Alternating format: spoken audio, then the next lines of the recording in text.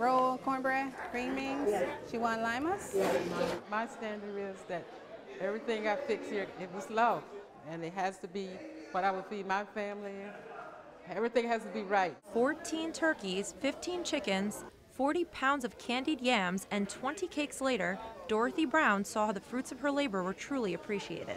My heart just goes out when to see how much people appreciate the lunch. Well, the food is the, is the uh, groundbreaker. Fastest way to a man's heart is through his stomach.